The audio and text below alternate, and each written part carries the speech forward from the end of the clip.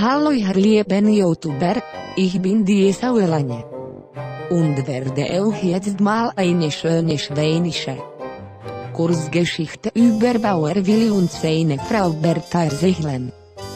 Zwei Schweinensüchter unterhalten sich und sprechen so über das alterliche Leben. Da sagt der eine, ich hab das Problem, dass meine Schweine sich nicht weiter vermehren wollen.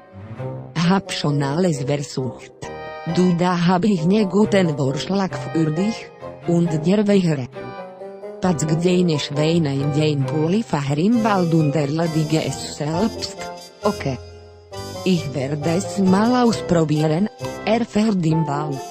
Tages später schaut er nach. Ob seine Schweine trächtig sind, nichts ist. Wieder Tages später dasselbe Spiel nochmal und wieder nichts, jetzt ist er es leid. Nach dritten Versuch, ruft er seine Frau. Und sagt schau du doch mal ob unsere Schweine trächtig sind.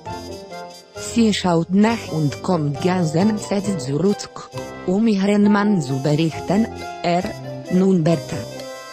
Was ist? Sind die endlich trächtig? Nein nein Willi. Die Schweine sitzen alle in unseren Bulli und hupen, die ganze Zeit.